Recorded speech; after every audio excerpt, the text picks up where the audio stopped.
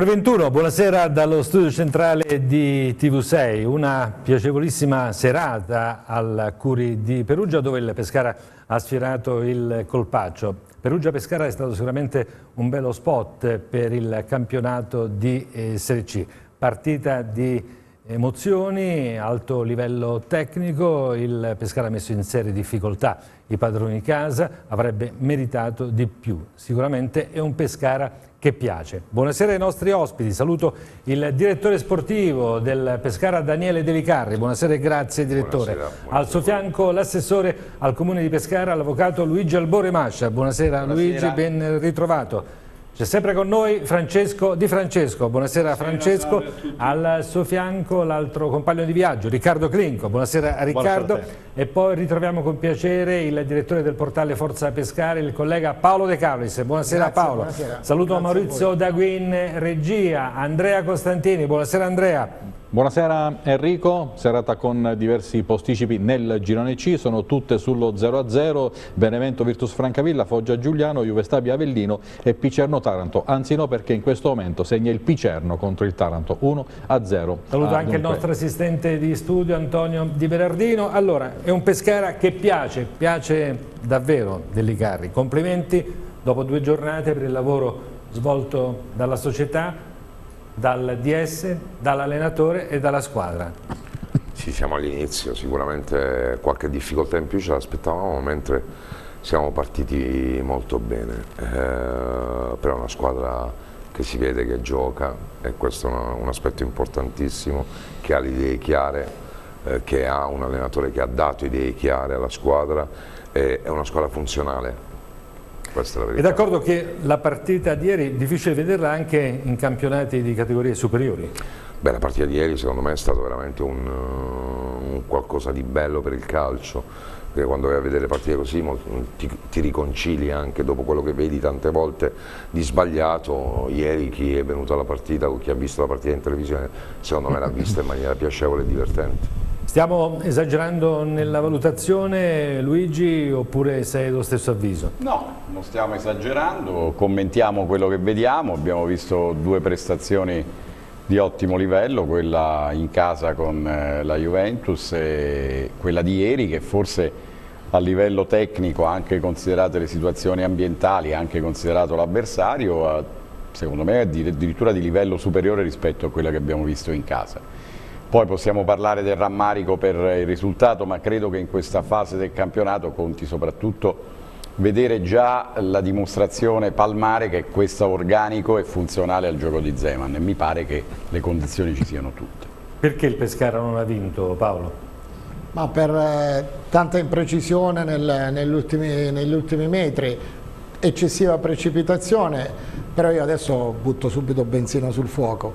Io sono tra quelli che ritengono la prestazione di Cuppone più che sufficiente perché al di là degli errori nei, nella, nella, gestione degli ultimi metri ha, ha messo cuore, gamba, corsa è stato quello sempre più pericoloso è mancato, di, è mancato sicuramente di altruismo però nel vivo della partita e nel tener viva la partita ci ho pensato Cuppone per quasi tutta la durata del match. Poi, Sarà un argomento che tratteremo perché è salito sul banco degli imputati, forse sì, in maniera ingenerosa. Ti ho, ti, ho buttato, ti ho, detto che avrei buttato benzina sul fuoco, ma eh, di fronte a un giocatore che ho visto anche i, re, i report, è stato tra quelli che ha corso di più, che ha comunque sempre giocato le, le palle, i, i palloni decisivi in fase, in fase d'attacco, è stato in tutte le azioni il più pericoloso, cioè se lo score serve per avere una dimensione di quanto uno ha fatto nel corso di una partita, i numeri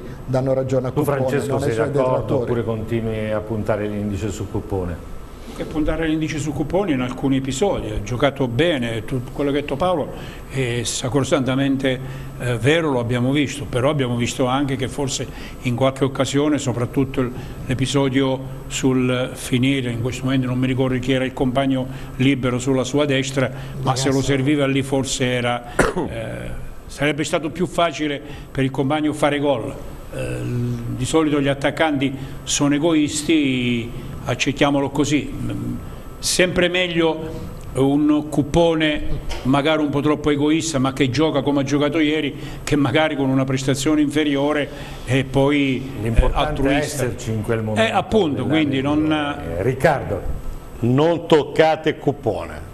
Cuppone per me è un giocatore che è, è- è generoso, punta, ogni tanto magari non è molto lucido ma fa un lavoro pazzesco, recupera le palle, corre, fa gol, tira, è su tutti i palloni, mette la gamba. Averne 11 gioca- 10 giocatori così più lui. Io sono un fan di Cuppone dall'anno scorso, lo sai, io amo i giocatori che ci mettono il cuore. Poi ha sbagliato, va bene, la prossima volta farà gol, non è un problema. Non ha dato la palla, va bene, ma un attaccante è giusto anche essere egoista. E non vedo tutte queste critiche, anzi per me 8 in pagella, forza Cuppone, perché è un uomo veramente che ci mette poi, anche se sbaglia uno così, cosa gli vuoi dire?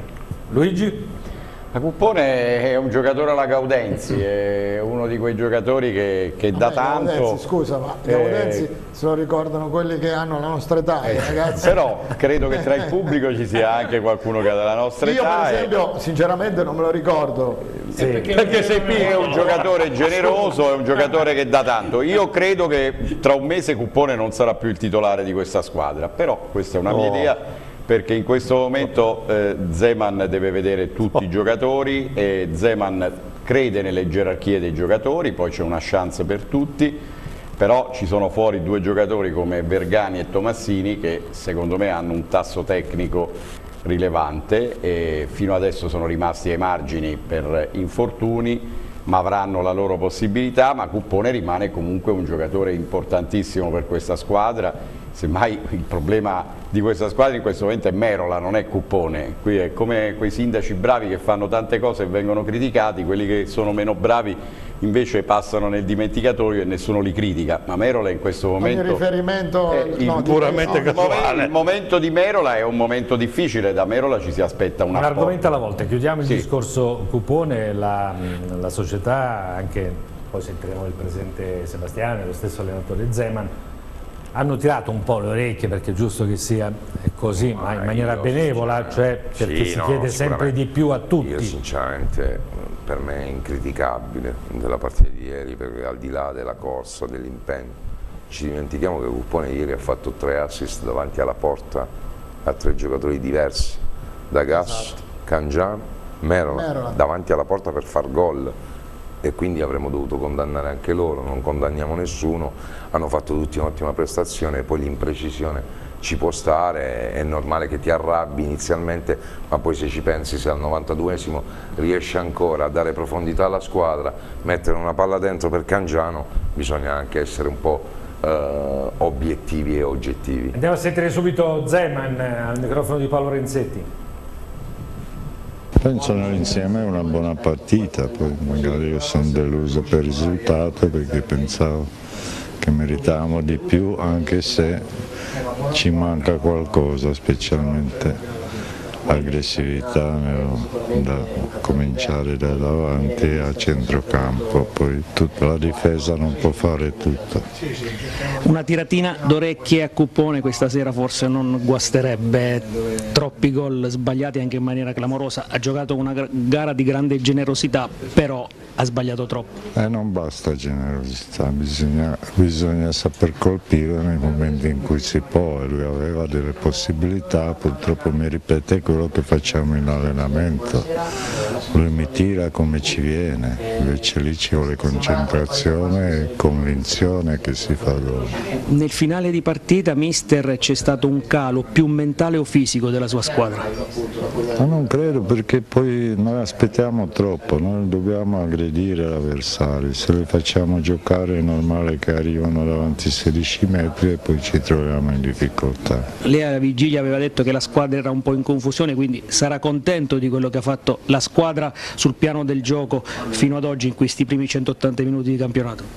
Ma io ripeto il concetto, la squadra riesce a giocare qualche cosa anche se, ripeto, per giocare contro avversari dobbiamo cercarli noi, non ci devono cercare loro. E quindi voglio più aggressività e più più giocare sulla palla dell'avversario. Ultima domanda, mister, una curiosità, nel secondo tempo lei ha operato quel triplo cambio, sono entrati tanti ragazzi, qualcuno pensava potesse entrare Mora, come mai invece questa Eh, scelta? voi lo pensate tutti perché per voi Mora è importante, per me pure, ma bisogna vedere che cosa si vuole dalla squadra, di più ritmo o più, più tattica. Lui è più tattico e quindi non mi sembrava occasione in questa partita di utilizzarlo.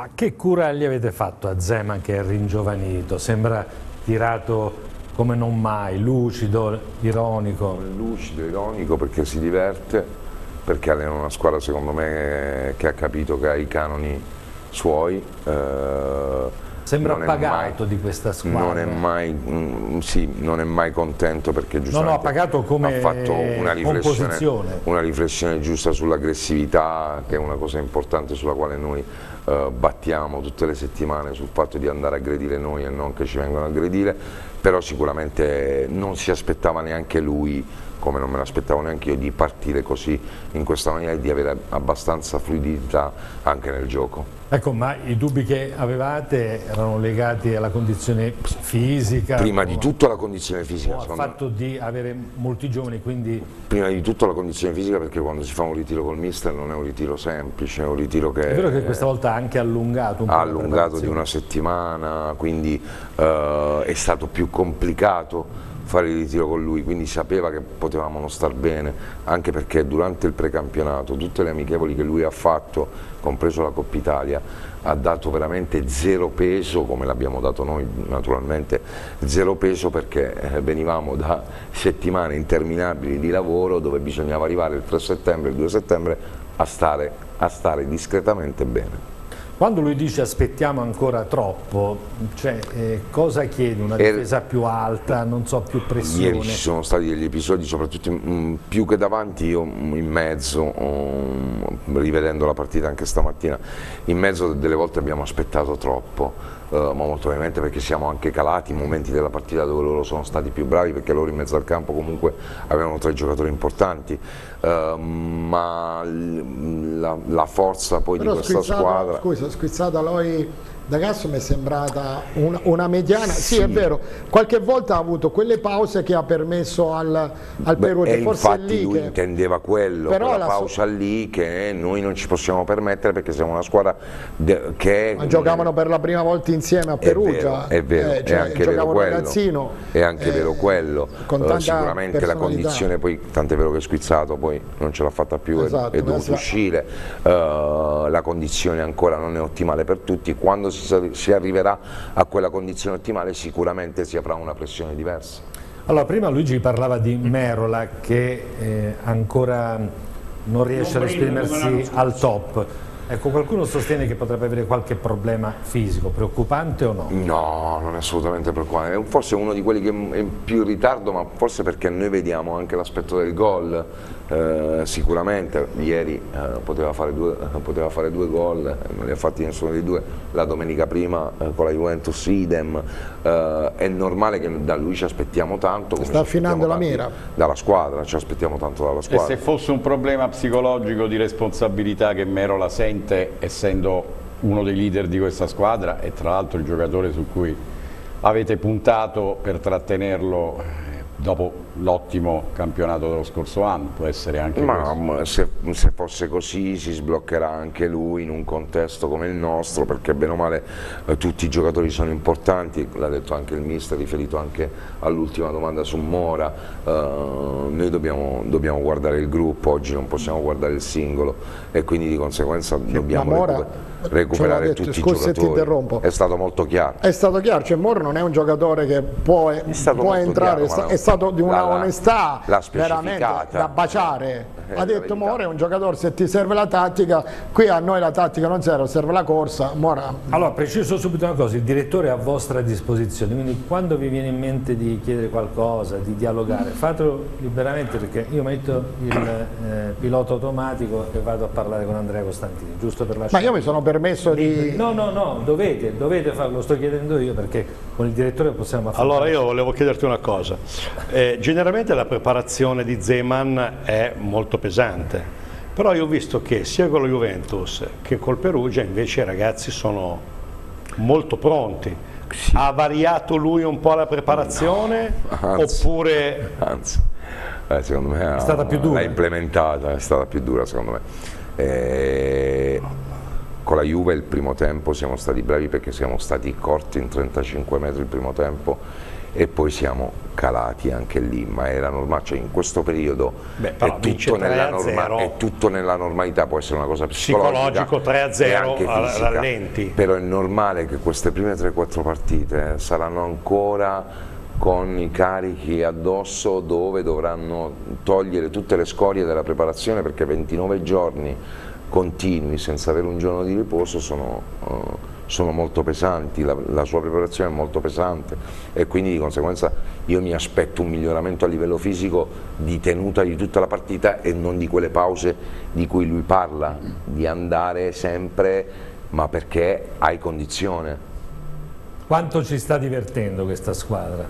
Luigi? Eh, le premesse sono, sono ottime, direi due, due prestazioni che sono poche, però sono già sufficienti per poter capire eh, intanto quello che abbiamo sempre detto, che Zeman è uno che ha bisogno di lavorare sin dall'inizio con i giocatori, fargli una certa preparazione. L'anno scorso ha compiuto un miracolo dal mio punto di vista arrivando dove è arrivato il Pescara, però le condizioni migliori in cui può essere messo un tecnico di questo livello, col suo carisma e con le sue caratteristiche, è proprio quello di, di potergli far fare tutta la preparazione, di scegliergli un organico che sia funzionale al suo progetto. A questo proposito volevo chiedere, visto che ce ne dai la possibilità a Daniele, eh, Zeman mh, dieci giorni fa dichiarò che non conosceva Franchini.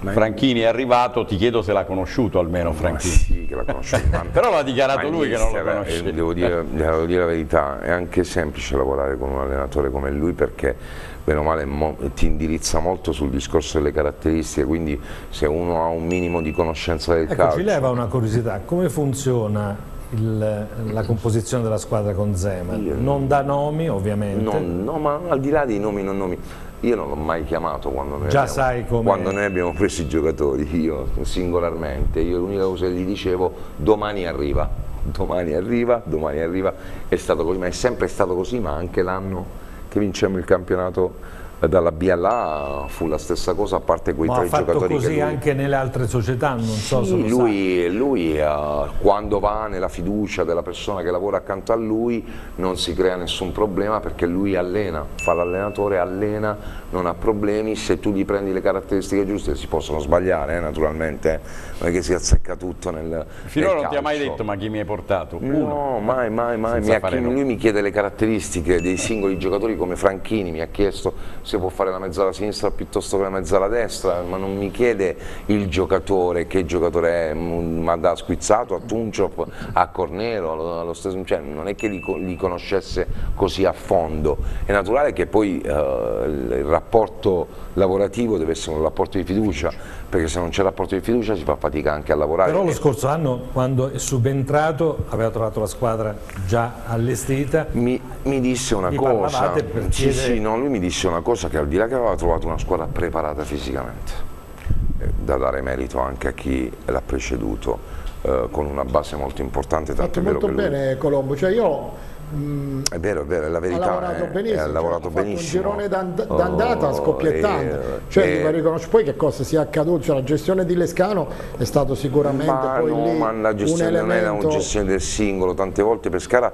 Pescara una- è una piazza comunque che ha esigenze, bisogna gestire, intanto ti faccio gestire domanda, a ti interrompo la 360 domanda. gradi. Più forte l'organico dell'anno scorso o quello di quest'anno? Più No, funzionale. no, lo- finisci, finisci no, no. E, eh, allora non è il discorso di poi gestire il singolo, il singolo giocatore si gestisce e il gruppo da gestire perché noi facciamo, non ci dimentichiamo che noi facciamo la Serie C, non facciamo la Serie A. Nella Serie A se tu mi togli le AO, a- all'allenatore togli le AO, molto probabilmente li devi prendere uno simile alle AO perché fai quella categoria che è la categoria alta dove c'è bisogno di grande qualità, di grande corsa, ma di grande qualità.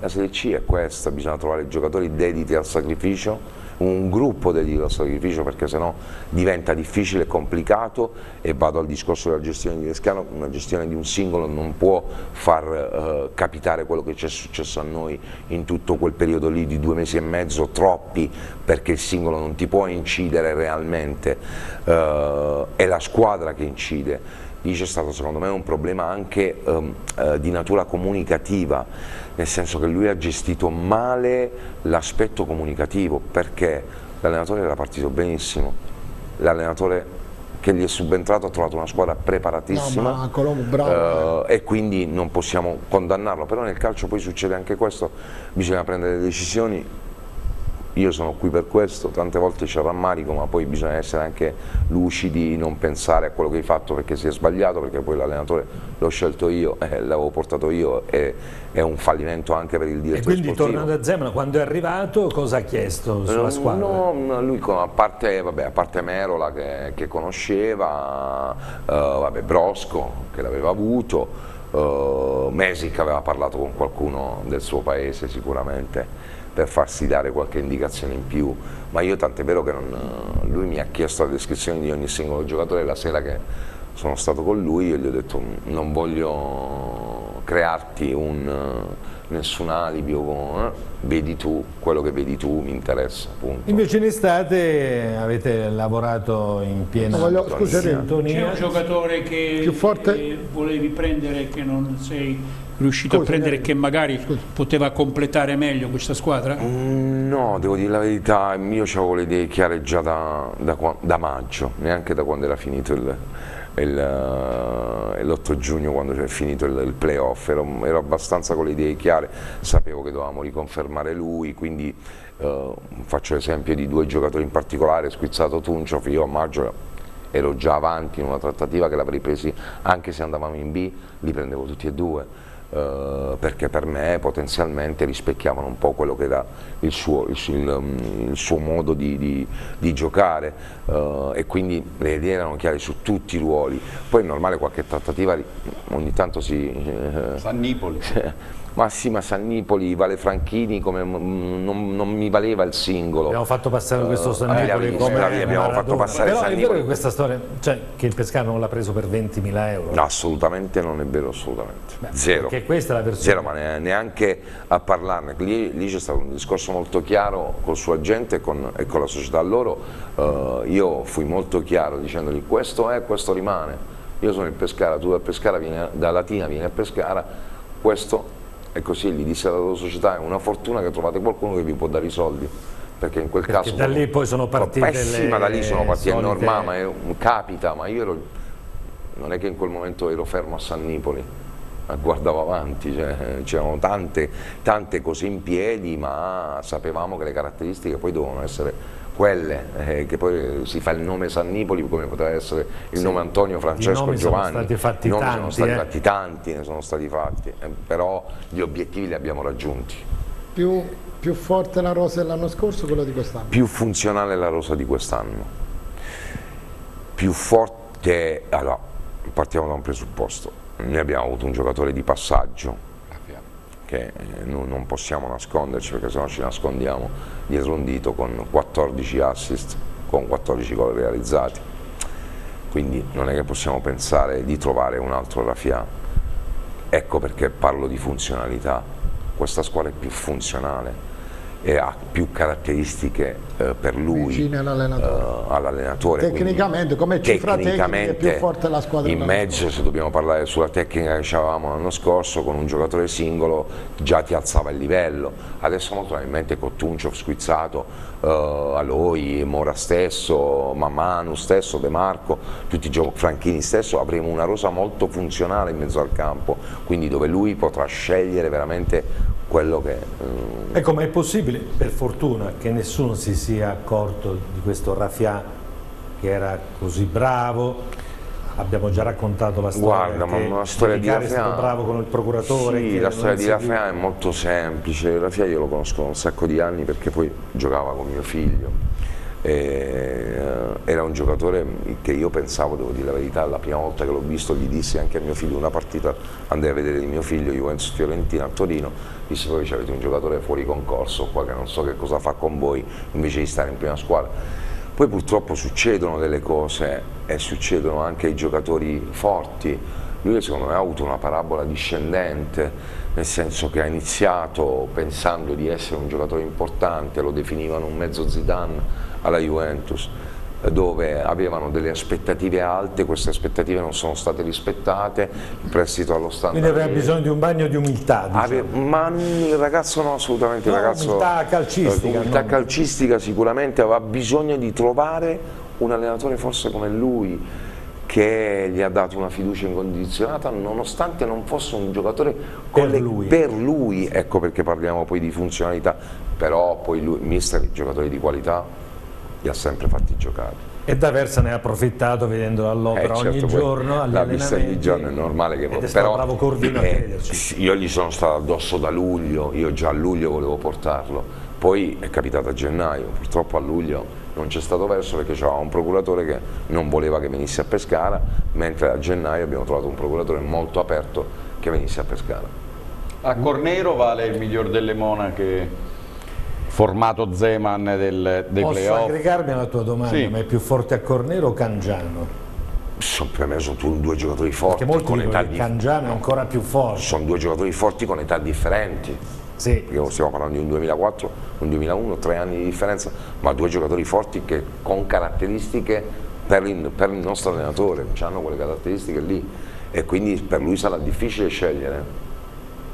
Beh, Cornero, però, a Cornero è un ragazzino, beh, Cangiano l'abbiamo visto solo ieri, a Cornero ha delle caratteristiche. Ma anche, anche Cangiano sono due giocatori adatti a lui, lì avrà veramente, ma come Masala stesso, eh, non ci dimentichiamo che un 2004, eh, io- le coppie che sono state formate sono state anche volute, che non ci dimentichiamo, anche questa è una caratteristica dell'allenatore che quando fa una scelta su determinati giocatori ne sceglie 15, 16, 17 e porta avanti il suo credo. Eh, anche il fatto di costruire una coppia gio- giovane grande relativamente, perché stiamo parlando 2004-2001, 2004-2000 dall'altra parte, i terzini 2004-2001, 2001-2003 sono state fatte con un criterio, con una logica, pensando che quello che molto probabilmente è più bravo è anche quello dietro che arriverà davanti, eh, ma la logica era questa.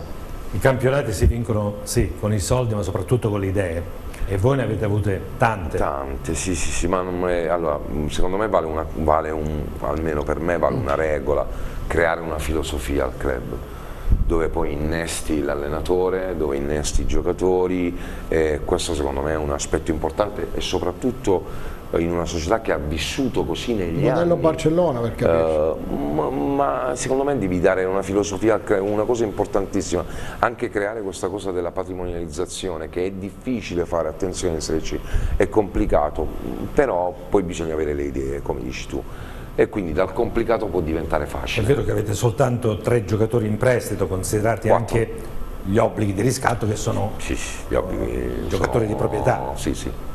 Non succedeva da, Da tanto, decenni. ecco, ma infatti ecco perché, La eh, patrimonializzazione. ecco perché la patrimonializzazione diventa importante, perché ieri non ci dimentichiamo, c'erano sette undicesimi dell'anno scorso e non è poco. Dando- Infatti sembra che questa squadra sia stata stravolta, rivoluzionata ma non è così perché ieri hanno giocato a Cornero, Pierno, Squizzato e Dagas.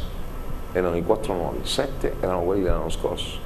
Quindi non è Forse nella è rosa, con- nella nella rosa, rosa, sì. certo, è il continuare la filosofia, quello deve essere innestare i giocatori che poi ti possano diventare di proprietà. Nelle squadre, nelle, nelle squadre del, di settore giovanile, primavera, la, eh, quest- questa filosofia passa? Passa molto, devo dire la verità, è, è- è uno degli aspetti più importanti sul quale in una riunione, noi abbiamo fatto una riunione non più tardi di 20 giorni fa, compreso, compreso il mister, era presente anche il mister, dove si, si prova a creare una filosofia già dal basso, che deve essere così, perché Per filosofia anche, intende tutte le squadre devono giocare? Le, no, giocare, no, no, non, la, non il modulo di gioco, metodo, ah, ma avere una metodologia ben precisa e un obiettivo ben preciso. La mentalità. Lo, è la mentalità. L'obiettivo qual è? Che io devo crescere i giocatori che possano giocare in C col Pescara e siccome l'Abruzzo è pieno di giocatori, io non credo che il Dagasso oggi di turno di cui ha esordito e ha fatto una signora partita eh, rischiando anche di farci vincere la partita non credo che non ce ne siano nel Pescara, ci possono essere, portare avanti questa filosofia, non portare avanti sempre il risultato, il risultato, tanto il risultato non porterà mai a niente, i giocatori ti porteranno qualcosa e l'allenatore avrà beneficio poi in futuro. Ma questo tipo di filosofia si può fare perché c'è Zeman oppure con altri allenatori più difficili? No, allora, eh, questo è anche un, un altro fattore eh, particolare. Quando parlo di filosofia del club non deve essere legata all'allenatore, deve essere legata a quello che è il pensiero della società. È normale che oggi noi parliamo di un allenatore che ha 76 anni che sembra che ne abbia 50 eh, per quello che fa vedere, per come allena la squadra e quant'altro non durerà in eterno, ma la filosofia molto probabilmente dura, non dico in eterno, ma dura. Se saremo bravi poi in futuro, se sarà brava questa società in futuro anche a fare scelte perché lui smetterà di allenare, scegliere un allenatore che continui ad avere quella filosofia, c'è un problema solamente. Quando noi ci riempiamo la bocca dei giovani, gli allenatori si, riempiono la bocca dei giovani, quando poi si va all'atto pratico di giocare la partita, i giovani non giocano. E, e, questo è un problema serio. È una questione di coraggio? È una questione di coraggio. In calcio italiano si pensa che se un 2007 come Yamal esordisce uh, nel nazionale spagnola 2007 e noi consideriamo un maggiorenne 2004 perché 2004 c'ha 19 anni, eh? quindi maggiorenne, 2005 un maggiorenne e li continuiamo a considerare giovani e c'è qualcosa che non va perché noi dobbiamo partire sei bravo eh sì, o non sì. sei bravo mi aggancio alla certo. uh, domanda di ti dispiace Francesco se la tieni tanto non scade la tua domanda no, perché no. c'era Andrea che si era prenotato da tempo poi andiamo in pubblicità e poi riprendiamo da te. Sì, se mi dai l'ok altrimenti Come? non mandiamo la pubblicità. non la scrivo che sono la scorta ah, no chiedo al direttore metto un po' di pepe se in quel gioco delle coppie fatto in precedenza possiamo inserire anche Mora o se nel centrocampo Mora è sostanzialmente il settimo giocatore? No ma non c'è una gerarchia al primo, il secondo, il settimo una, è stato chiaro molto chiaro l'allenatore, quindi non vedo una gerarchia, vedo partite diverse l'uno dall'altro dove molto Non vede un problema Mora? Non, non, assolutamente, zero, perché il, Mora è stato d'aiuto in quattro mesi dove noi abbiamo fatto i playoff, è stato il miglior consigliere del mister, in assoluto. Ma non è andato via per perché non c'è stata un'opportunità di mercato? O no, assolutamente, eh, anche perché eh, fu lui tanto tempo fa a chiedere di andare via, non decidendosi lui realmente cosa volesse fare, però poi Mora si è rimesso in sesto e oggi non è un settimo, non è un primo, fa parte della rosa.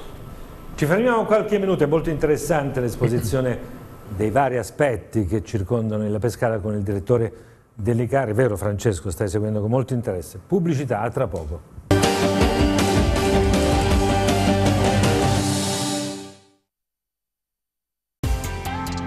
Notti d'Oro, in corso Umberto I 310 a Montesilvano, ha aperto un nuovo store di oltre 1000 metri quadrati di materassi dei migliori brand internazionali.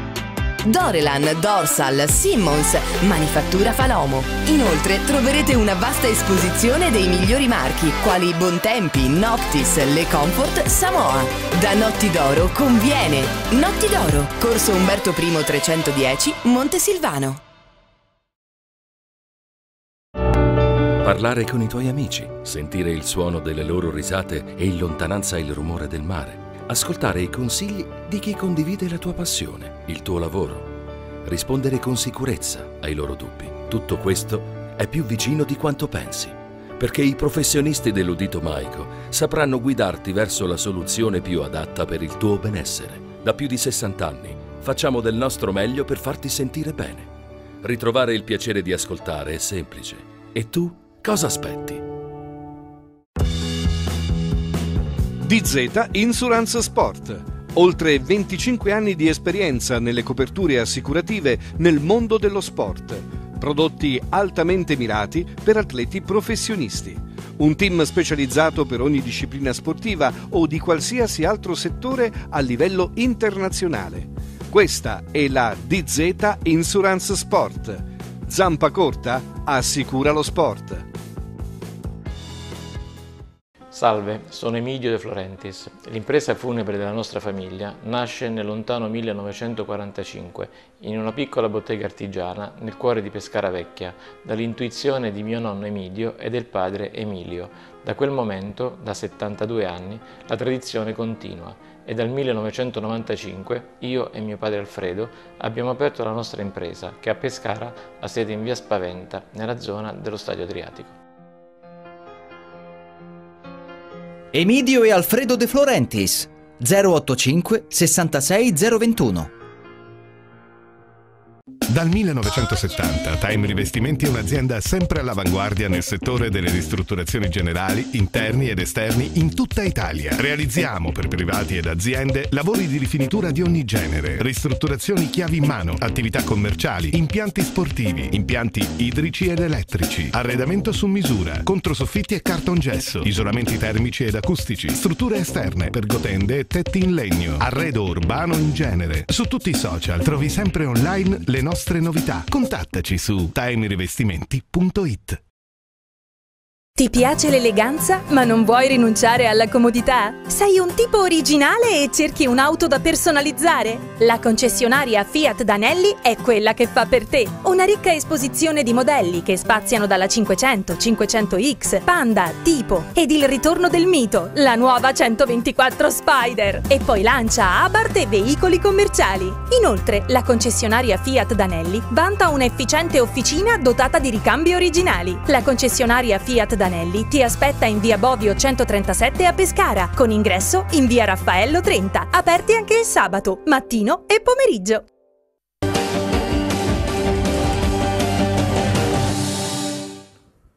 «21.38 minuti, rientriamo in diretta. Allora eravamo rimasti a Francesco Di Francesco, che dovevi toglierti No, una curiosità. Il discorso che facevi prima sui giovani, su una filosofia, su una eh, regia e una strategia precisa della società, è più facile da poter attuare avendo un allenatore come Zeman oppure eh, ci vuole la forza della società a imporla all'allenatore, proprio deve essere bravo l'allenatore. Sicuramente, sicuramente. Che Zeman aiuta molto, mi Allora, insegni tu, a far crescere i giovani. È molto più facile, sicuramente.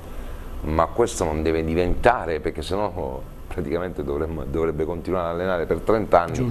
Non, non deve diventare il fattore eh, dell'allenatore, deve diventare il fattore della società. Se la società ha un'idea ben precisa, la società ha sempre avuto questa filosofia, perché anche negli anni addietro è capitato qualche mh, disgrazia nel percorso, per carità che capita a tutte le società, non è quello il problema, è dare continuità, che non deve essere, l'allenatore deve essere innestato nella filosofia del club, non deve essere l'allenatore che porta la filosofia, devi essere tu a crederci, perché se non ci credi prima tu puoi avere anche l'allenatore più bravo come Zeman, ma se fondamentalmente tu non ci credi non, questa, non darai mai questa filosofia. Se tu ci credi per primo sicuramente negli anni dovrai andare a cercare l'allenatore che rispecchi quello che è la tua filosofia, che non sarà sicuramente facile, perché oggi, oggi si parla di carenza di calciatori, non ci sono calciatori in Italia perché noi vediamo la nazionale, c'è carenza di allenatori di gente che sa allenare. Eh, questa è una notizia. per Perché me c'è carenza non di è- allenatori. Non è carenza di giocatori, che i giocatori ci sono, bisogna allenarli però. L'atleta va allenato, che è un atleta prima di tutto va allenato e dopo lo formi col tempo tecnicamente. Per me c'è carenza di allenatori soprattutto sotto, È quello che ti che volevo sopra. chiedere, non è che eh, Da i sotto, ragazzi vanno aiutati certo, eh, il 2000 di, certo. il 2007, il 2008, il Certo, 2006 certo, di certo. oggi che sta nella primavera o in Certo. altre... Mm. E l'idea, ma Ecco, eh, ma quando dice carenza di allenatori, carenza di coraggio degli allenatori. Di coraggio, di ma di, tanto no, di filosofia- insegnare calcio. di insegnare Puntare calcio, sui di- giovani di, anche. di puntare sui giovani, di avere, eh, di avere la forza di non guardare l'età, perché una delle, una delle prime cose, perché mi è capitato, mm, non faccio nomi, eh, quando tu vai a dire a un allenatore conosci delle, facciamo un esempio Sì. delle monache, mi viene delle monache, eh, conosci delle monache, la prima risposta dell'allenatore è di che anno è? non è se è bravo o non è bravo, e qual è la differenza sostanziale? Cioè, tu devi pensare che se è bravo a 16 anni o è bravo a 30 anni, se è bravo gioca, se non è bravo non gioca. Questa è la cultura sbagliata nostra. Io non penso che la nazionale italiana sia una nazionale scarsa. Cioè noi abbiamo dietro, dietro ha giocato Scalvini che è dovuto entrare, che è un prospetto uh, uh, europeo importante. Cioè... Il discorso che fai tu che è perfetto non si completa eh, forse perché a livello giovanile eh, sono i primi allenatori che dovrebbero insegnare qualcosa a adesso a questi ragazzi. Eh, se tu ci fai caso, e lo sai meglio di me, eh, la tattica. 4-3-3, 4-2-3-1, 4-1-3-3 invece di insegnare a, a, a giocare in un determinato modo io se fossi la una, tecnica io se ecco. fossi io lancio un messaggio io se fossi un allenatore da settore giovanile Zeman ha fatto circa 10 anni di settore giovanile va bene? circa 10 anni io se fossi un allenatore del settore giovanile, se io non mi alleno la mattina o il pomeriggio, io la prima cosa che faccio, vado a vedere il mister. Perché? Perché uno che dà, migliora, se voglio migliorare io, io la prima cosa che faccio, vado a vedere l'allenatore della prima squadra e vedo cosa fa, quando uno dice vado a vedere, vado a vedere il, il, Pescara allenarsi e viene a vedere, viene al campo i tiri in porta, le trecce che si facevano una volta, ma lui perché stava 30, sta 30 anni avanti, vabbè, lasciamo stare, è una questione di cultura, uh, e uno vede calciare in porta. Oggi Cuppone, al di là degli, parlo di Cuppone, al di là degli errori, Cuppone ha fatto una partita a livello tecnico ieri perché non ci dimentichiamo i tre assist che ha fatto, il primo è stato pazzesco sì. quello su Merola che ha messo è migliorato anche lui, sta migliorando anche lui perché continua lui a migliorare i giocatori. Noi dobbiamo trovare questo tipo di allenatore perché purtroppo in futuro ci sarà bisogno. È questo eh, che infatti chiedevo uno che sta a casa dice allora quando Zeman non gli, aug gli non augura che più? Qu quando Zero non è più come farà qua eh, il Pescara no il Pescara no, innest innesterà nella filosofia del club quello che può rappresentare poi il club che sia che si unisca a quello che è il nostro pensiero perché poi non si parla di preparazione si parla di idea che è diverso perché la preparazione di Zema non la può fare nessuno. Il copia e incolla non esiste perché hanno fallito tutti nel copia e incolla. Uh, dovrai avere le idee chiare tu ad entrare nel nostro club. Però tu sai che il nostro club vive di lavora, quello, lavora così. Paolo, ti vuoi agganciare a questo discorso? Sì, volevo fare una, una domanda in due, non come la ragazza. Eh, volevo chiederti intanto quanto è stato, se è stato difficile um, far passare questo concetto con, il, con la dirigenza, col presidente. Aspetta, e poi l'altra è, eh, siccome... Um, non è un mistero che insomma molti eh, vedevano in Sebastiani un uomo, un factotum che eh, faceva, aveva l'idea di essere allenatore, di essere direttore sportivo. Da quando sei arrivato tu, devo dire, il suo, il suo ruolo anche da un punto di vista del comunicativo si è, si è abbastanza fissato sul ruolo dirigenziale, no? visto che la tua presenza è servita soprattutto a, a sgomberare il campo da equivoci sulle scelte di mercato e soprattutto sul suo ruolo. Quindi due domande.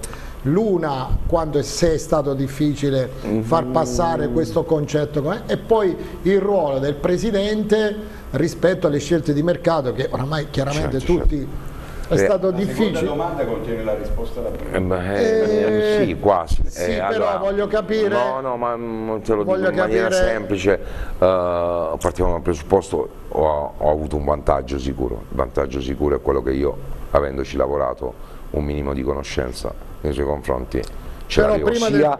sia da lui nei miei confronti, io nei suoi confronti. Prima del tuo avvento però il, il ruolo era abbastanza eh, nebuloso, nel senso che al Presidente si, ehm, si imputava proprio il fatto di, di fare un po' tutto, di, di, occuparsi di mercato, di occuparsi... Invece col tuo arrivo, devo dire, questo è un dato storico incontrovertibile, i ruoli sono stati, oggi sono molto più definiti. Certo, no? sì, sì, Voglio capire quando è stato, se è stato non è facile, stato, non è se stato, è stato difficile, difficile, perché basta comunicare bene con le persone, basta spiegargli le cose, perché poi uno quando argomenta con un presidente, che sia un presidente, che sia un dirigente, un direttore generale, eh, quando, quando argomenta deve sapere argomentare, che è la prima cosa. Eh, perché poi io argomento in maniera semplice, eh, calcisticamente, gli spiego le cose, il perché, piuttosto che eh, Paolo prendo Luigi, devi dare una motivazione ben precisa. Con lui questo vantaggio io l'ho avuto perché lui bene o male mi conosce da, da sempre eh, e sa forse mi ha dato fiducia per un minimo di competenza che posso avere calcisticamente, cosa che a qualcun, altro, a qualcun altro, non ha dato perché lui si è sentito in grado di, di comunque di essere eh, capace, può capitare nell'arco di 10-11 anni di gestione di esperienza, pensare che l'esperienza ti porti anche a capire di calcio, perché poi lui non è che non ci capisce, attenzione, eh, che se no si fa...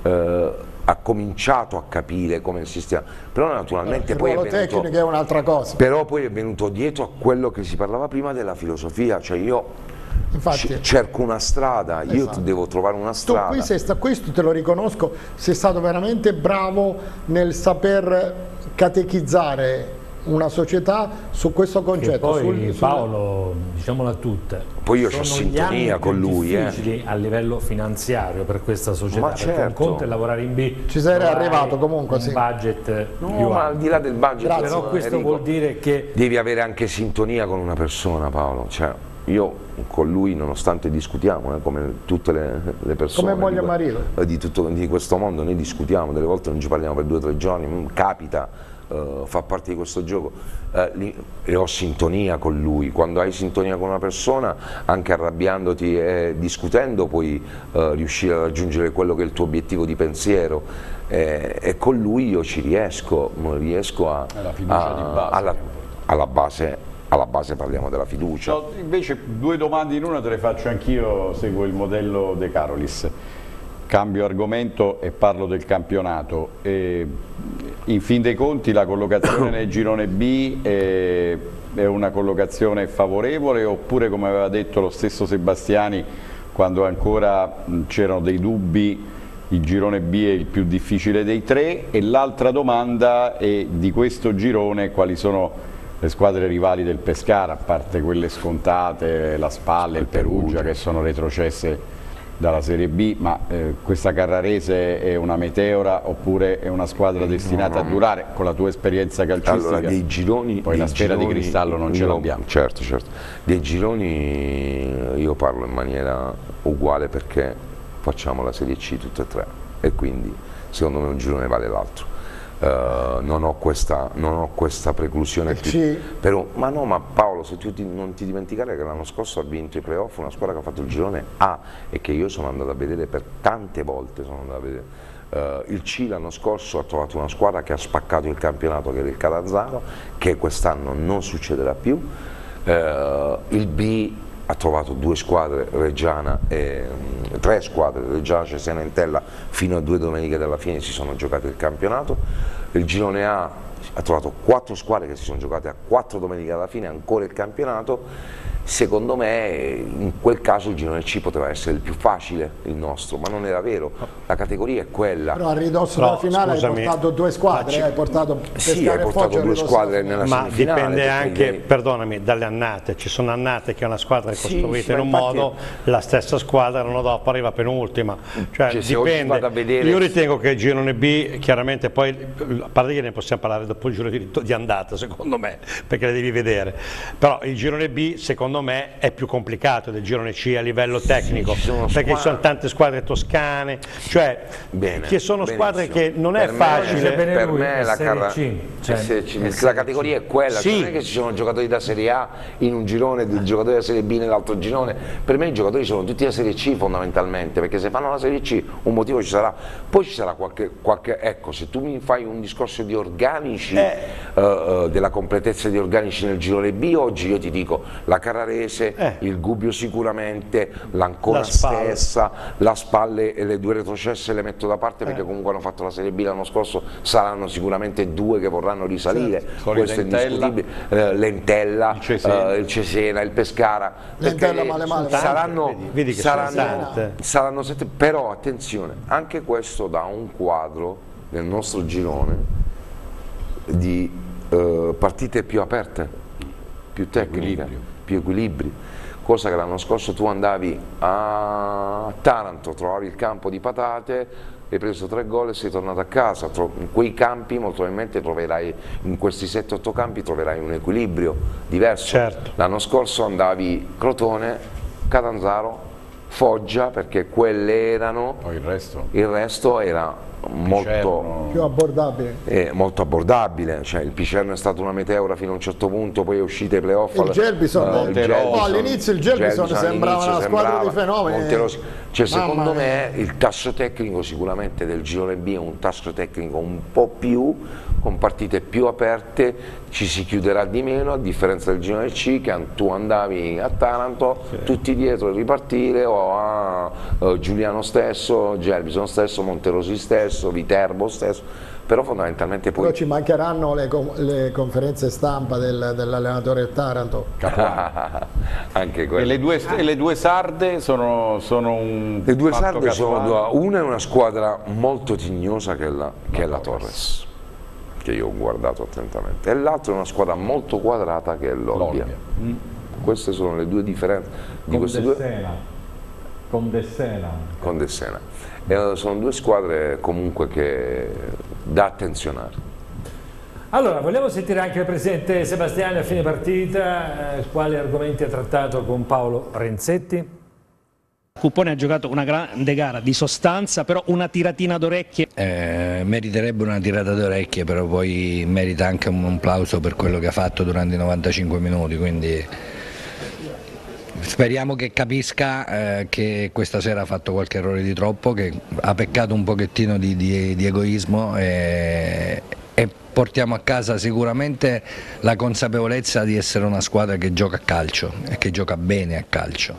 E per questo, come dicevo al tuo collega, io sono felice perché ho visto una squadra veramente pimpante, bella, tecnicamente valida, una squadra che arriva 20 volte in porta non può che farmi piacere. Ripeto, un pareggio ottenuto contro una squadra importante, una squadra che eh, ha giocatori molto molto validi, ha un allenatore bravo e che sicuramente sarà una delle protagoniste. E io mi auguro, devo dire, spezzare una lancia a favore del mio amico presidente del Perugia perché venire allo stadio e sentire certe cose fanno male, eh, un- può essere anche un presidente come me che non, ha- che non- non siamo sicuramente due presidenti industriali grandissimi, però facciamo tanti sacrifici e Max fa lo stesso qui a Perugia, quindi mi dispiace e spero che, che la gente capisca quanti sacrifici si fanno per portare avanti una squadra di calcio. A proposito di tifosi, tanti tifosi questa sera da Pescara, alcuni sono arrivati tardi ma hanno tifato davvero forte per la squadra, in alcuni tratti di partita sembrava di essere all'Adriatico. Eh, lo stadio lo permette anche perché lo stadio a differenza dell'Adriatico è, è attaccato, quindi è, uno stadio che ti fa sentire veramente la tifoseria sia da una parte che dall'altra, i nostri sono stati encomiabili, dispiace solamente che siano entrati in ritardo, non so il motivo per il quale siano entrati in ritardo, era già successo una volta qui a Perugia e credo che chi, chi ha la competenza per eh, fare queste cose dovrebbe cercare di, di, mh, privilegiare lo spettacolo e magari controllare qualcosa in più perché mh, vedere durante una partita fumogeni da tutte e due le parti mi sembra una cosa un pochettino eh, esagerata, mentre non far entrare o magari metterci tanto tempo per far entrare i tifosi, credo che qualcosa si possa migliorare da questo punto di vista. Allora, Delicari, cosa è successo per questo ritardo dei tifosi a a Perugia? Perché qualcuno sostiene che ci siano stati problemi logistici, di traffico. Voci di- dicevano problemi di traffico, problemi logistici, arrivati allo stadio si sono soffermati un po' di più davanti allo stadio, quindi prima di entrare hanno avuto eh, un problema organizzativo, quindi sono entrati più tardi, chi è arrivato prima, chi è arrivato dopo, però sembrerebbe che questo sia stato poi la problematica vera. interruzioni. Eh, Hanno trovato Intanto c'è dei, da dei ringraziare lavori. questi 600 tifosi ma che questo ieri è encomiabili. davvero Cioè, eh, spettacolo sugli spalti. Questa, mm, questo discorso sul collega Santopadre sono due presidenti un po' eh, vicini nelle difficoltà. Ma io vedo che tutti i presidenti in tutti gli stati vengono contestati e già questo è un, è un fattore grave. Ehm, perché uno ci mette passione, soldi, amore, tutto quello che per la propria città, perché poi Sebastiani a differenza di Santo Padre è di Pescara, Santo Padre è di Roma, quindi stiamo parlando anche di due cose differenti, ma dove vai vai c'è sempre qualcosa nei confronti dei presidenti. Tante volte io, tante volte devo dire la verità, non lo capisco eh, perché dico non è possibile che si arrivi a un'esagerazione del genere, perché comunque sia, un, hai un presidente della tua città. Oggi è vero, noi viviamo una categoria che molto probabilmente è penalizzante. È penalizzante tutto quanto, ma quante società sono fallite nel tempo, eh, sono andate in malora, eh, sono retrocesse in CRC e sono fallite. Qui bene o male c'è un presidente che dà continuità. Però nel tifoso, scusa eh, Daniele, nel tifoso c'è ehm, è, la, è la visione d'assieme che porta ad avere una... Sì un atteggiamento ma dammi una reale, una reale motivazione per contestare no, è, chiaramente se tu senti Paolo, io dirigo, io, io dirigo ho la fortuna non so in, man in maniera molto, molto, indegna ed immeritata di eh, dirigere il portale Forza Pescara. Leggo no? eh, sono anni che leggo cioè non è eh, chiaramente in questi ultimi anni te, lo, te ne davo merito ma non per ruffianeria è cambiato anche il suo modo di porsi.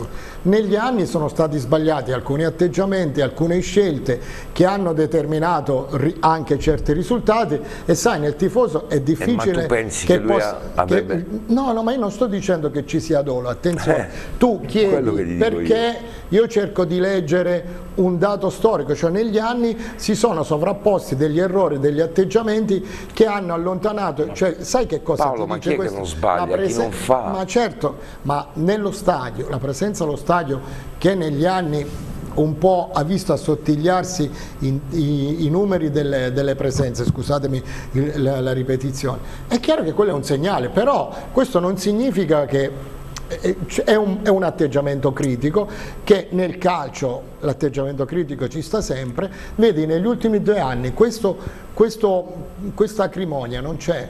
Sì, soprattutto in questo periodo Credo che si sia ricreato il clima giusto. Esatto, però non puoi dire perché, perché te lo, te lo dico. Perché. Presenze contro la Juve, Ma ieri 600 esatto. tifosi a Perugia. Si sta ricostruendo. È fondamentale no, avere sicuramente, ambientale. Sicuramente ambientalmente, devo dire la verità, si vive un clima... Più sereno. Ma non solo più sereno, vedo un clima di, di voglia, di vicinanza, però, di voglia, molto... si nota Ma questo, anche lui ha cambiato atteggiamento nella comunicazione, uh, questo si apprezza. Ma, ma, ma gli errori tornando a Ma Perugia, certo. come è stato per il Pescara, sono città, eh, non è il Monterosi, non è la certo, certo. dove c'è la frustrazione del eh, tifoso certo. per una categoria che non è appropriata Perugia, alla dimensione e alla certo. storia calcistica di quella cioè, città. Allora, Perugia una quello, retrocessione. Non si tratta di essere presuntuosi. No, no, no, no, no, no hai, mangiato, hai mangiato sempre il caviale, allora, la mortadella. Sai Paolo, se ci fosse, allora, se uno sbaglia con dolo è un discorso. No, ma infatti Se ma nessuno sbaglia, fa degli errori eh, o gli errori li commettiamo Però tutti. non dimentichiamo uh, sempre che il tifoso la va piazza stadio... è una piazza importante Paolo perché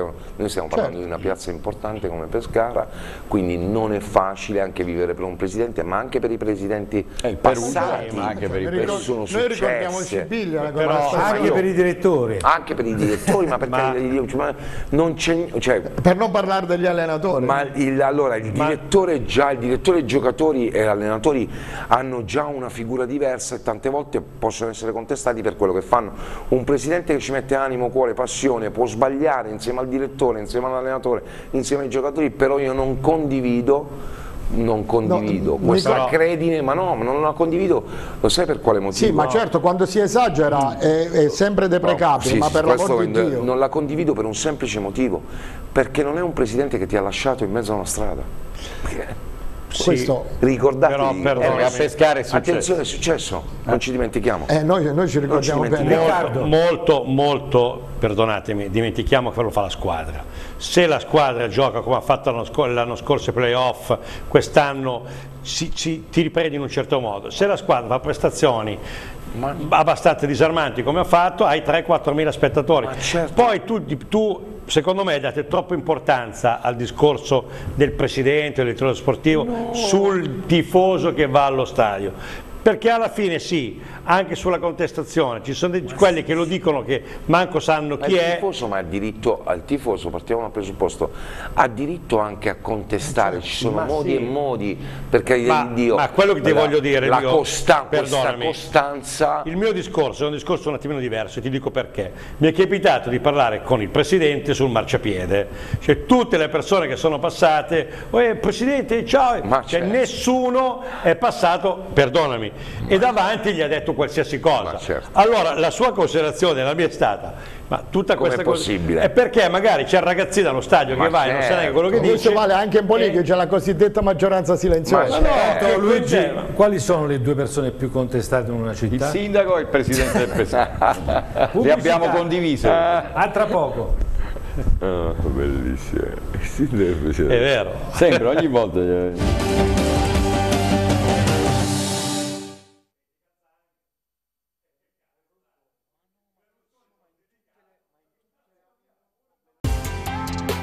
Notti d'Oro, in corso Umberto I 310 a Montesilvano, ha aperto un nuovo store di oltre 1000 metri quadrati di materassi dei migliori brand internazionali. Dorelan, Dorsal, Simmons, Manifattura Falomo. Inoltre troverete una vasta esposizione dei migliori marchi, quali Bontempi, Noctis, Le Comfort, Samoa. Da Notti d'Oro conviene. Notti d'Oro, corso Umberto I 310, Montesilvano.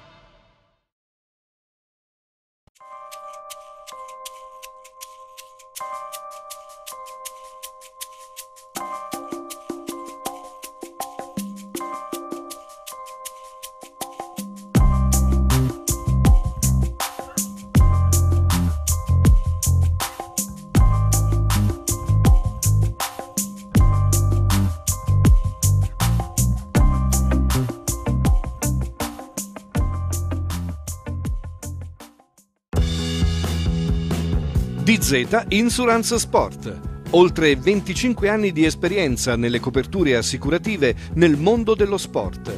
Prodotti altamente mirati per atleti professionisti. Un team specializzato per ogni disciplina sportiva o di qualsiasi altro settore a livello internazionale. Questa è la DZ Insurance Sport. Zampa corta assicura lo sport.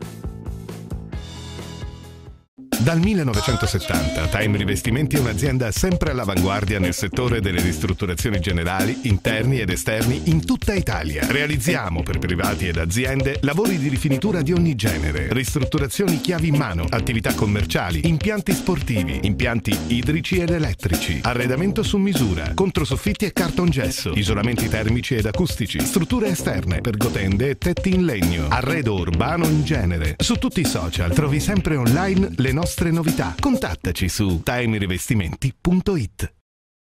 Salve, sono Emilio De Florentis. L'impresa funebre della nostra famiglia nasce nel lontano 1945 in una piccola bottega artigiana nel cuore di Pescara Vecchia, dall'intuizione di mio nonno Emilio e del padre Emilio. Da quel momento, da 72 anni, la tradizione continua e dal 1995 io e mio padre Alfredo abbiamo aperto la nostra impresa che a Pescara ha sede in via Spaventa, nella zona dello Stadio Adriatico. Emidio e Alfredo De Florentis 085 66 021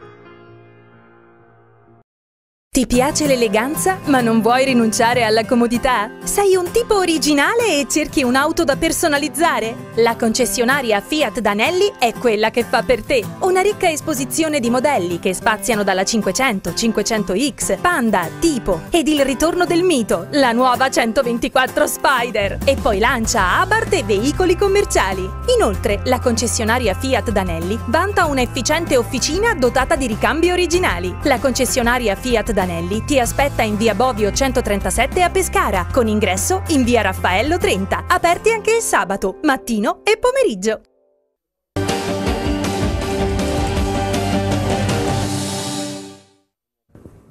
Ora 22 6 minuti, torniamo in diretta con eh, il direttore sportivo del Pescara Daniele Delicarri, però vorrei andare in postazione da Andrea Costantini, intanto aggiornamento sui posticipi, poi ci sono due notizie di giornata che riguardano Pogba e anche Verratti. Se ci Sì. dai un po' di news. Sì, per quanto riguarda mh, la Serie C, eh, tre vantaggi interni, tutti di misura. Il Benevento avanti sulla Virtus Francavilla 1-0 col di Ferrante, il Foggia poco fa ha sbloccato contro il Giuliano in vantaggio, rete di Tonin, Picerno avanti sul Taranto 1-0, gol di Albadoro, derby campano sullo 0-0 tra Juve Stabia e eh, Avellino. Le notizie di eh, giornata, intanto per quanto riguarda Por- eh, Pogba, il centrocampista della Juventus, trovato eh, positivo al testosterone, il eh, Tribunale Antidoping ha sospeso in via cautelare il eh, centrocampista francese in attesa poi delle eh, controanalisi e poi ci saranno eh, ovviamente ulteriori sviluppi in base all'esito delle controanalisi. Poi l'altra notizia riguarda, ehm, notizia riguarda Marco Verratti, centrocampista di Manoppello che sta per trasferirsi dal Paris Saint Germain alla squadra catariota dell'Al-Arabi, trasferimento non ancora ufficiale, peraltro con delle conseguenze positive dal punto di vista economico anche per il eh, Pescara, però si è parlato molto di Verratti nelle ultime ore per, una, eh, presunta, per un presunto rifiuto dell'ultima convocazione. Almeno questa è un'indiscrezione che è stata rilanciata dall'equipe e ripresa poi da tante testate nazionali, qui vediamo Sport Mediaset, però in conferenza stampa Spalletti oggi nel presentare la partita contro l'Ucraina di domani ha detto io ho parlato al telefono con tanti calciatori, tra cui anche Verratti, lui mi ha garantito che nonostante il momento che sta attraversando è, è disposto a darci assolutamente una mano, quindi ridimensionando questa voce. A te. Delicari, che idea si è fatto di questa querella tra Verratti e la nazionale? Ma no, assolutamente no. Io penso che sia un giocatore che abbia uh, uh, uh, amore, Facciamo completare. amore nei confronti di- della sua nazionale, io penso che ce l'abbia, quindi molto probabilmente le sue condizioni in questo momento è stato fuori rosa, eh, si, si sarà allenato poco, la, la nazionale ha bisogno di prontezza e quindi di conseguenza eh, la- se l'allenatore l'ha detto eh, è scoppiata una polemica inutile ma eh, riportata dall'equipe che tra l'altro in questo periodo lo sta massacrando continuamente e quindi, e, e quindi di conseguenza hanno tirato fuori questa, questa chiamiamola bomba dicendo che avrebbe rifiutato, rifiutato la nazionale, ma non ci credo minimamente, tante per ora Però che l'allenatore. ricordiamo, no, ricordiamo pure una cosa che è più è sfuggita. Nella gestione della nazionale di Sacchi fu convocato Mancini, Mancini rifiutò la, la convocazione. È Le carte, no, no, le carte federali però dicono che i giocatori che hanno rifiutato la nazionale non possono né allenare, per lui è, stato- è stata fatta una, non una possono deroga pure giocare se non sbaglio il regolamento dice che se tu Nessuno l'ha mai detto questo. Quindi a parte, due domeniche, no, due lo dico perché a parte, giocare a parte che la notizia di Verratti circolava già da un po' e si capiva benissimo che era strumentale per Ma mettere in certo. cattiva luce lui, però l'allenatore della nazionale aveva rifiutato la convocazione con Sacchi, ha fatto l'allenatore. Sì, sì, sì, sono- Quindi Vabbè, tutta Ma io- è stata la- veramente la telefonata. Spalletti si è sincerato sulle condizioni e se certo. Verratti gli ha detto guarda mi sono allenato poco e anche senso di Eh, responsabilità guarda, è giusto. e Però- rispetto per il E rispetto per formazione. eh, ti voglio dire che credo che è stato massacrato perché è italiano, perché i francesi verso di noi quando possono dare un carico lo danno. Questa è la vera verità, cosa che noi non facciamo con gli altri. Tu, io mi sono recato tante volte in Francia L'ha detto e l'atteggiamento dei francesi verso gli italiani è sempre quello. Quindi, Vabbè, però Verratti è stato un idolo a Parigi eh, per, se per sta- anni sì, anni, ma eh. appena hanno potuto l'è stato massacrato, secondo me anche ingiustamente, perché è stato tratto dei casi enormi che potevano benissimo far rientrare. Siamo a 20 minuti dalla fine, direttore. Sta vivendo questo secondo anno di esperienza con il Pescara, dopo che ha vissuto quella splendida cavalcata del 2011. Esperienza che nella sua carriera quanto vale? Beh, tantissimo, ma forse è stato Questa, questa, parlo di questa, non tantissimo, 2011. tantissimo questa. Uh, perché?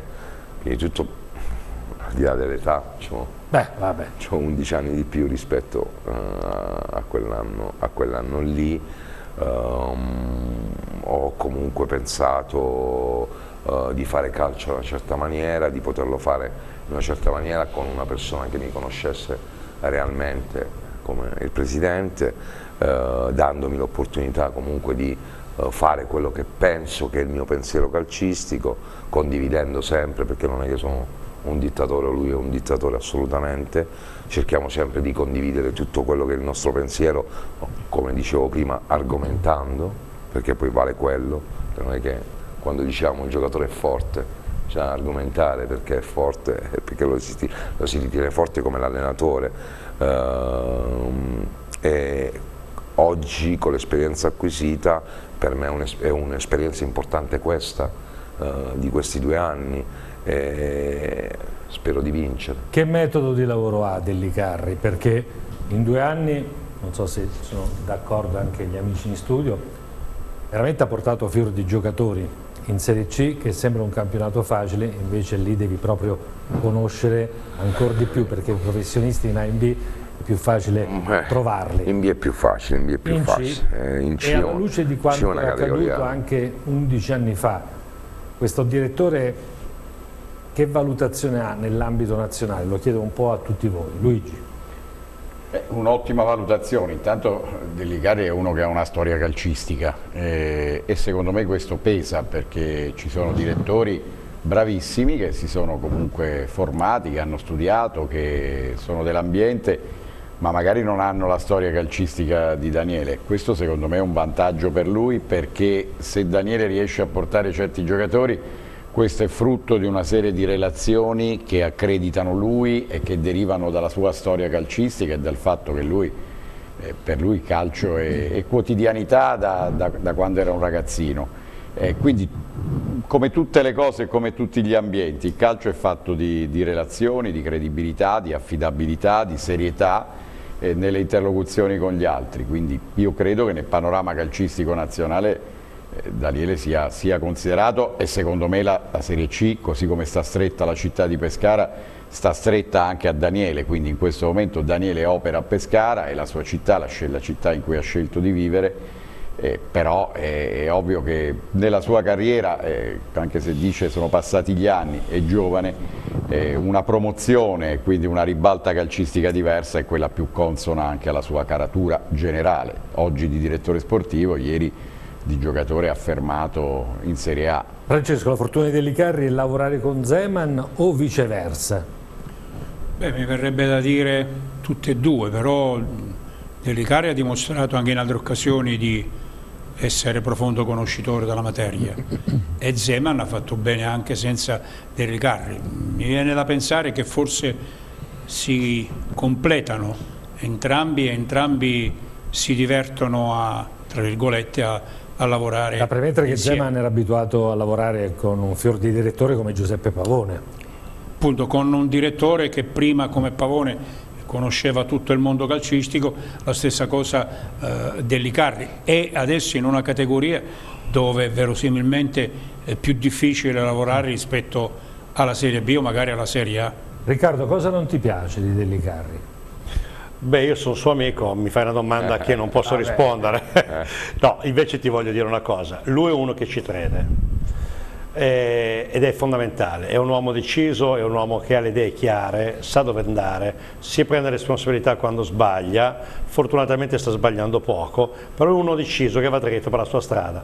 Ha un allenatore che si fida di lui, ma se Zeman si fida degli Carri perché degli Carri ha la fiducia e perché se la merita, perché Zeman non è sicuramente un, un tipo di allenatore con l'esperienza che ha, che lascia dicendo mi serve un'ala piuttosto che un altro, che un altro giocatore quindi tutti i meriti che ha Daniele e io, eh, ripeto, lo conosco bene, ci siamo parlati un giorno quando, non so se ti ricordi, sotto l'acqua torrenziale e lui non era il direttore sportivo del Pescara e ci parlavamo e lui, io sono felice per lui perché, ribadisco, ha le idee chiare e va per la sua strada. E questo è fondamentale secondo me in tutte le attività manageriali ma soprattutto dove lui ha rapporti con la squadra, con i tifosi, col presidente, quindi ha un ruolo molto cardine e bisogna avere gli attributi per con i tifosi avanti. il rapporto è stato un po' recuperato perché all'inizio ma erano rose e fiori ma ho capito è, anche questo certo. recuperare un rapporto sempre parte, perché tu hai le idee chiare fa parte del gioco cioè, ma, eh, non, è, non, si è mai nascosto dietro niente questo è fondamentale. Si è sempre messo davanti nel bene e nel male. E questo secondo me fa un grande, un grande manager. Paolo, su Delicarri trovi vuoi, qualche... vuoi che ti dica qualcosa di negativo? Eh sì, no Eh sì, solo sono- elogi. Sono a parte la bronzatura che, eh. che è quella, quella compete purtroppo eh, eccessivamente con me, ma eh, al di là di questo credo che mh, la gestione dell'ultimo de- dello scorso anno, la, gestu- la gestione delle ultime partite, io per esempio la scelta del portiere nella partita di ritorno, cioè non l'ha fatta lui, però ehm, la, gestio- la gestione di alcuni cambi e quella per esempio è, mh, sono elementi che sono rimasti nel- nell'immaginario collettivo. La scelta di, anche ai rigori di non cambiare il portiere, che poi alla fine a distanza di tempo... Però sono scelte tecniche. No, non voglio dire, però. Sono scelte di discussione. sono bravo, siccome so che queste scelte sono nate dentro comunque de- de- dei confronti, Certo. eh, io da lui, siccome so che ha personalità e competenza, mi sarei aspettato un po' più di che puntasse i piedi. Io sinceramente con tutta la stima di questo mondo, ma vedere il portiere sui rigori parare dentro, dentro la propria linea l'abbiamo visto Sì, tutti, sì, sì, non lo voglio colpevolizzare, cioè e tenere in panchina un portiere strutturato che poi tra l'altro diventa il portiere titolare che era molto più strutturato fisicamente, aveva più esperienze da uno come lui che stimo, io e lui ci conosciamo lui ce lo ricordiamo del giocatore, ci abbiamo cominciato certo. a litigare del giocatore, cioè non è che ci litighiamo da oggi. Che è successo, Riccardo? Però voglio dire, lì io da, da te mi, mi sarei aspettato no, sulle perché sostituzioni. Quello che lui giustamente dice, io a Zema glielo- la stessa sera gliel'ho domandato come molto domanda Vabbè, e lui la ha stessa risposto. sera- La stessa sera lui ha risposto, io non ci ho pensato, ma se ci pensavo non avrei messo Plezzari. Questa è la risposta di Zema in conferenza Allora, mo, mo rispondo a Paolo perché... Sì. ehm, Vabbè, ma tu lo sai che la domanda No, affettuosa io- è la no, stima, ma io- no non è ruffianeria, no, la ma figurati, ci figurati, conosciamo. figurati Paolo. Eh, eh, ti rispondo, io parto da un presupposto molto importante. Il comandante dello spogliatoio è uno solo. È facile delegittimare un allenatore, è facilissimo, è la cosa più semplice di questo mondo. il delegittimare un allenatore. In quella circostanza, eh, perché bisogna rispondere poi di quello che è accaduto in, quel- in quei giorni lì, eh, ci sono stati dei disguidi tra allenatore e portiere, ma non disguidi di natura caratteriale o piuttosto io non ti faccio giocare, faccio giocare l'altro. A livello fisico, perché comunque il giocatore veniva dal giorno eh, di Foggia, della partita di Foggia che era stato sostituito tra il primo e il secondo tempo per un problema fisico e non c'era la certezza che lui potesse giocare. Partiamo da questo. Seconda eh, cosa che succede, eh, noi giochiamo di domenica, giocavamo di giovedì a Pescara. Eh, la seconda cosa che succede, lunedì non si allena perché ancora eh, dovevamo fare esami strumentali, eh, perché non si fanno dopo 24 ore, bisogna aspettare 48 ore, quindi al martedì noi abbiamo fatto gli esami strumentali, non c'è la certezza che il ragazzo potesse mantenere tutto, cambiare un portiere, si può, fa- si può fare tutto nel calcio, perché si può fare tutto, cambiare un portiere solo per fargli parare i rigori, non avendo un portiere acquisito in quel momento alla porta e metterlo lì in porta solo per parare i rigori, io non so in quanti l'avrebbero fatto. Iaconi, ti ricordi? No, Iaconi no, infatti io ho detto io non so in quanti l'avrebbero fatto. Poi lui decide, fa una scelta, una scelta eh, eh, non, condivi- non condivisibile ma da accettare, perché lui fa l'allenatore, perché se un domani io mi sveglio e voglio mandare via l'allenatore insieme al presidente, devo avere la contezza di quello che faccio, legato al fatto che possa aver fatto qualcosa di sbagliato, perché io sono un attento osservatore dall'allenamento al- alla partita per vedere che l'allenatore mio sbagli il meno possibile con le sue idee naturalmente e non con le mie idee perché io faccio un altro ruolo, questo è fuori discussione, però naturalmente faccio un'analisi. Ogni partita faccio un'analisi, ogni domenica faccio un'analisi, cosa avrebbe potuto fare di meglio l'allenatore, ma cosa avrei potuto fare di meglio anch'io nel dargli i giocatori.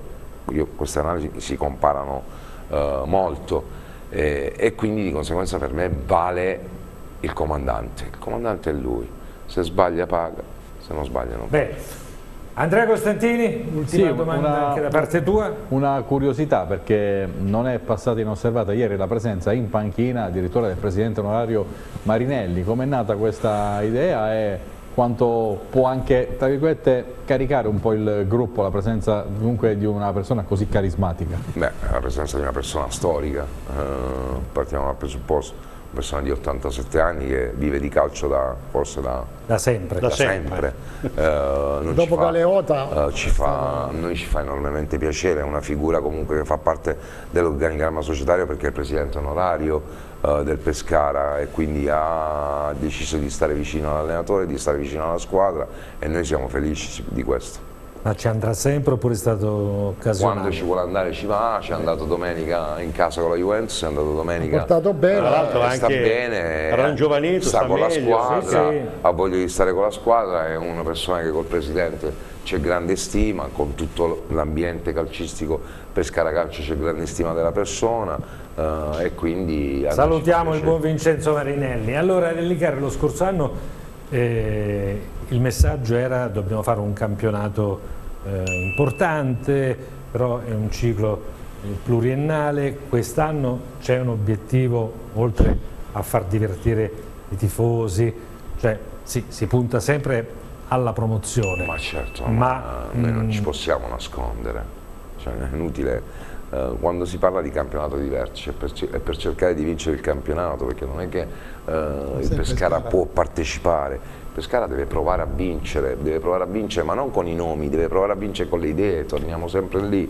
o non con i soldi, provare a vincere sempre con le idee, eh, questo diventa determinante, non è che ci nascondiamo, non è che uno si può nascondere dietro un dito, noi l'anno scorso abbiamo fatto un campionato di vertice non ci dimentichiamo, non è che abbiamo fatto un campionato eh sì, per comparire, arrivato... siamo arrivati a un passo, eh. l'unica squadra che non ha perso i playoff, l'abbiamo perso i rigori del, di tutte le squadre che hanno partecipato ai playoff. Quanto abbiamo... tempo ci ha messo ad assorbire quella sconfitta? No, devo dire la verità, il giorno dopo. Il giorno dopo ho cancellato, allora... il giorno dopo ho cancellato tutto perché dovevo pensare a quello che era L'amarezza era profonda. Avevate il piano A e il piano B?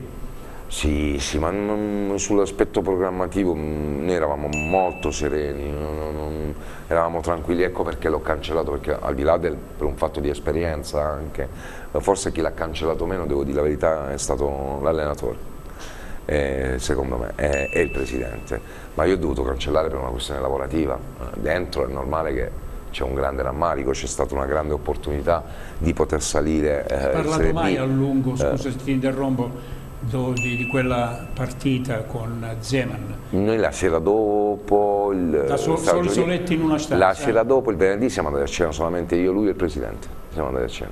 Eh, abbiamo parlato un po' di tutto in generale, di quello che si poteva fare, quello che non si poteva non fare, ma cose normali. Però è normale che io nel ruolo che, che ricopro non posso pensare al passato, devo pensare uh, al Vi futuro. disse subito che sarebbe rimasto a pescare? Sì, sì, da subito.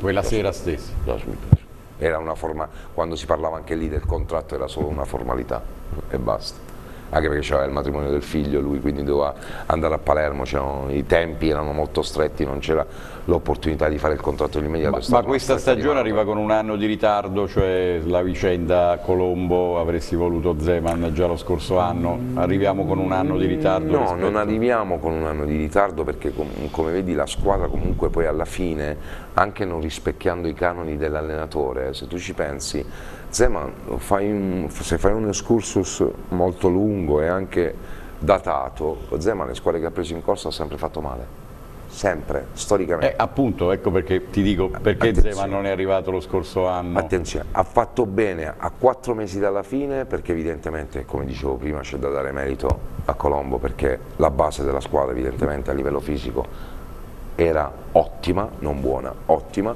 c'è da dare merito a Colombo che ha lavorato sui giocatori e poi c'è da dare merito a Zeman che evidentemente ha trovato una squadra, non dico consona in tutti i canoni, a, alle sue aspettative, la maggior parte ma la maggior parte se oggi 7 undicesimi sono ancora qua. Ma non è che l'avevi costruita parte... per Zeman lo scorso no, anno e poi hai trovato assolutamente, assolutamente perché il mister poi Colombo si è uh, adattato velocemente perché non ci dimentichiamo che noi fino alla quindicesima di campionato noi abbiamo fatto 14 partite che tutti nutrivano perplessità continue.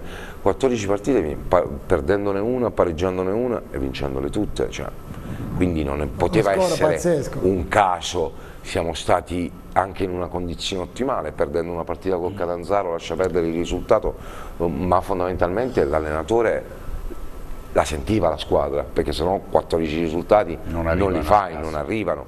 Poi sono successe mille cose, capita nel calcio, eh, Pescara è una piazza importante, va gestita a 360 gradi perché non c'è solo l'aspetto del mercato, dell'allenamento, cioè secondo me la gestione deve essere un po' più ampia, eh, anche comunicativa, questo secondo me è determinante. Ti rimproveri qualcosa su quello che dice? Ma no, io cerco sempre di guardare quello che ho sbagliato eh, l'anno scorso, ma l'unica cosa che un po' mi rimprovero può essere di non aver preso al uh, mercato di luglio e agosto, di non aver preso prima Merola. L'estate scorsa? Sì.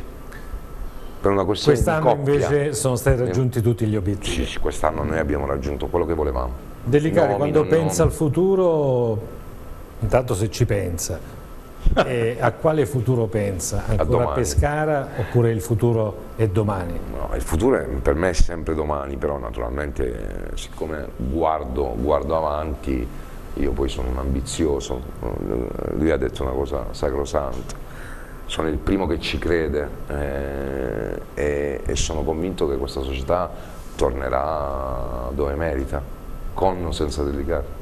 E se arriva una richiesta di un club importante? Ma in questo momento non ci penso minimamente. No, non ci deve pensare lei, se arriva qualche no, richiesta. Non ci, non ci penso perché sono, sono, concentrato tro troppo sul pescare. Però le dispiacerebbe lasciare pescare un giorno? Tantissimo, tantissimo. Come mi è dispiaciuto tanti anni fa. Bene, siamo in chiusura, ringrazio davvero Daniele Delicari perché con lui poi si può parlare 360 gradi, facciamo un in bocca al lupo all'Italia perché domani è una tappa importante nella partita con l'Ucraina, come diceva prima sì, mancano gli allenatori, però questa mentalità deve cambiare un po' nel calcio italiano, soprattutto per dare fiducia ai tanti giovani come state facendo voi. Ma sì, ma è, il futuro è quello, eh. non si può, ma, ma non, eh. non cercando di condannare i giocatori che hanno un po' più di età, ma fondamentalmente il futuro si costruisce da quello. Vogliamo dare i ragionamenti sui posticipi, sì, Andrea? perché c'è stato il pareggio del Taranto con Cianci a Picerno 1-1, ma soprattutto tempi duri per Massimo Rastelli e per gli ex biancazzurri Palmiero e Cancellotti, ma anche per il quasi ex eh, Sannipoli, perché l'Avellino sta perdendo il derby campano, segnato Bellic al 75esimo, mancano 5-6 minuti e l'Avellino è sotto, quindi occhio perché Rastelli traballa. Ricordiamo che si giocherà sabato alle 20.45 contro l'Arezzo, poi martedì a Carrara eh, contro il Sestri Levante, poi c'è la sospensione della partita con il Pineto, sì. la data non è stata ancora indicata, potrebbe mm, essere l'11 ottobre. Potrebbe essere l'11 ottobre ma ancora non ci hanno indicata.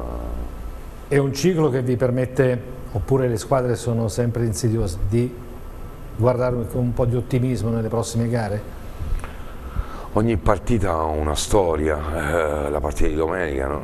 ne abbiamo, abbiamo, abbastanza conoscenza, anch'io. C'è Agnello Cutolo, direttore eh, sportivo eh, sì, dell'Arezzo. Sì, insieme a Giovanni, direttore generale. È, è una squadra molto particolare, molto particolare, molto particolare. Ah, è, però.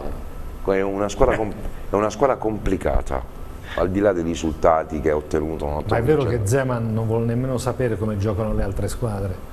Non è vero assolutamente, questo no, nel è, senso è un no, nel senso no, lui è, è quello, è quello, però c'è accortezza nell'andare a fare tatticamente alcune cose. Grazie a Daniele Di Carri, in bocca al lupo per questa stagione, grazie, grazie a Luigi Albori Mascia, Francesco Di Francesca, Riccardo Clinco, a Paolo De Cauris, grazie. grazie Andrea, grazie a Antonio Di Berardini alle telecamere, a Maurizio Dagui, noi ci rivedremo lunedì prossimo, grazie per averci scelto.